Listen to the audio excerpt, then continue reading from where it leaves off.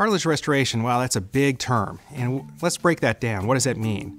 Well, cartilage is that end of the bone, that cap that's at the end of the bone, that gristle, uh, that is a very unique structure. It provides cushion to your knee.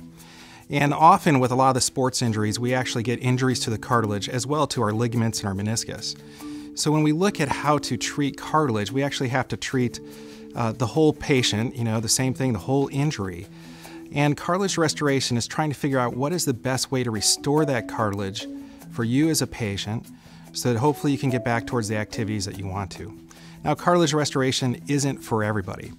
But for a lot of people who are having pain and symptoms from a cartilage injury, we have great technology and new things that we're doing here at OSU, which can really provide uh, yourself to have better out outcomes, better activities, and restoring that cartilage to a new surface so that you can do those. So one of the things we do at the cartilage restoration program here at OSU is really tailor what is the best treatment for the patient.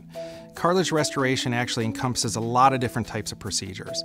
Those can be simple procedures like microfracture, osteochondral uh, transfer or OATS procedure, to osteochondral allografts, and even autologous chondrocyte implantation.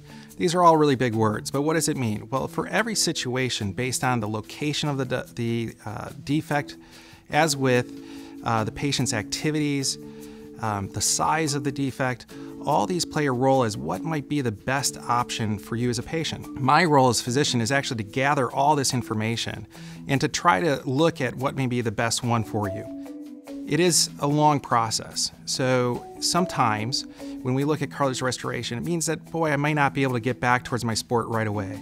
But again, our long-term goal is to give you a knee that functions well and hopefully continues to survive kind of slowing down that process of arthritis so that you don't have major arthritic problems at a young age. So each of these techniques, as you sit down with me, we will kind of go through them in detail and figure out which one is best for you. What's also great here at OSU is that we are also on the cutting edge of a lot of new techniques that are just on the verge of coming out into the US. So we're part of industry trials looking at uh, new techniques and are they better than what we already have? I'd be happy to provide more information and give you the opportunity to hear about these when you come and see us at OSU.